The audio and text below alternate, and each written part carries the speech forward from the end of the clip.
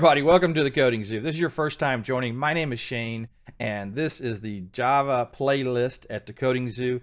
In today's lesson, we're going to cover compound assignment operators. Now that sounds like big words there, but hey, it's really quite simple. There's not much, there's nothing to it. It's some of the basics you would first learn when you're learning Java. So if you're not familiar with that, hey, stick around. We're going to jump right in.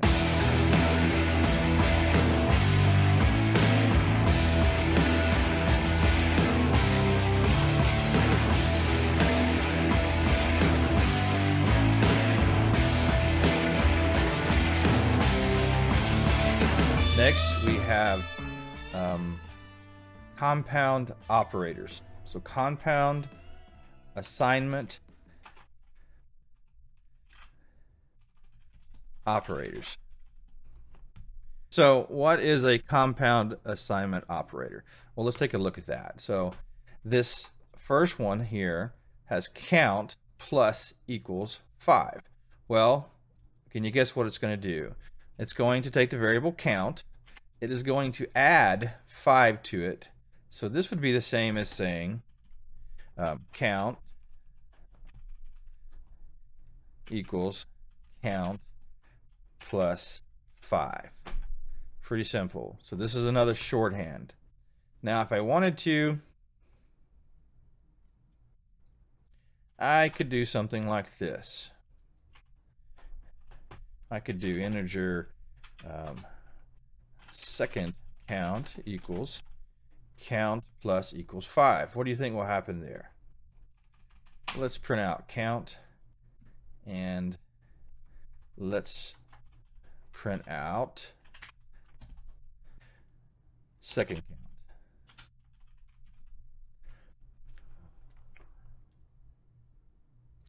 Let's fix my int there first.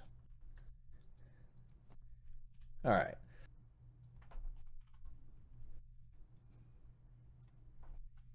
All right, let's try to run it. So first thing it does is it says, hey, second account uh, count is equal to count plus equal 5.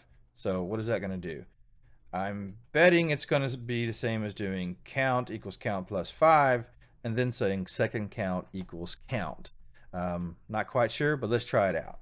What do you think? Well, I, am sure. Of course, I'm sure I wouldn't be uh, teaching you this, but let's see.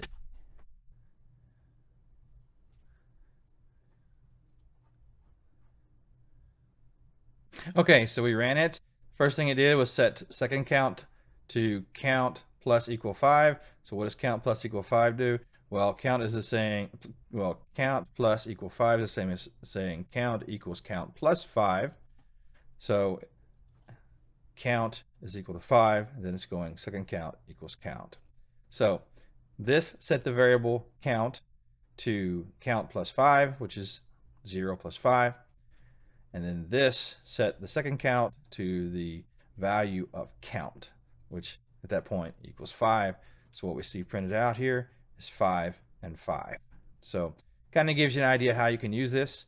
Um, this is a compound assignment operator. It's a quick and easy way of doing count equals count plus 5.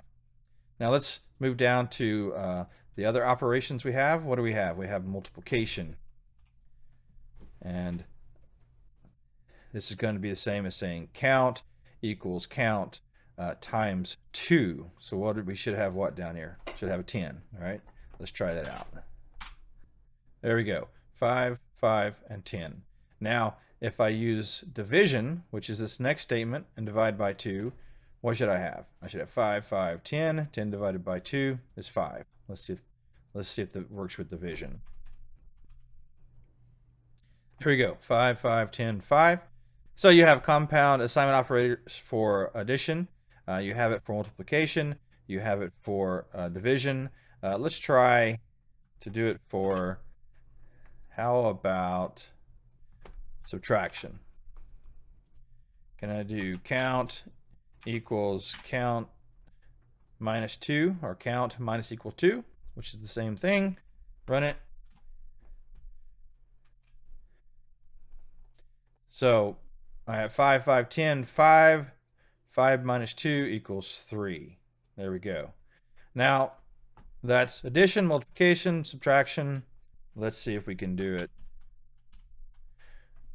with modulus. So this is going to say, give me the remainder of count divided by 3 and assign it to count. Well, in this case, there wouldn't be a remainder, so it should end up with 0. Let's see what happens.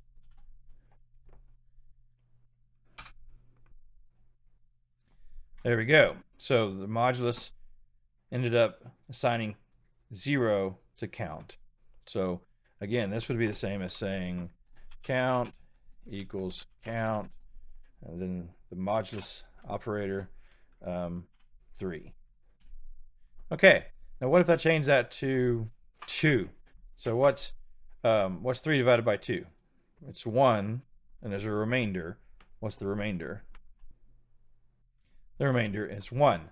So the variable count is now assigned with the, with the number 1. Easy, very simple. That is basically compound assignment operators.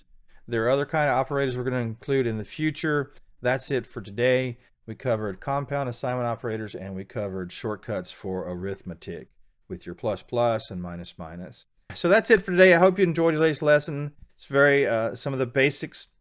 It's some of the basics for Java, kind of little stepping stones till we get to the more complex stuff, the good stuff, as I like to say. You got to learn these things first, but no worries. We're going to get into some more, a lot more uh, interesting, a lot more complex stuff in the future.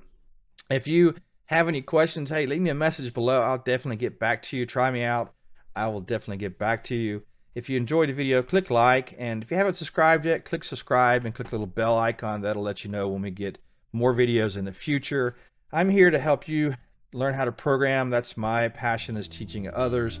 If you know of anybody else who would like to learn with us, hey, send them my way and uh, let them know about our videos. So thanks for joining. I hope you have a great week. Bye.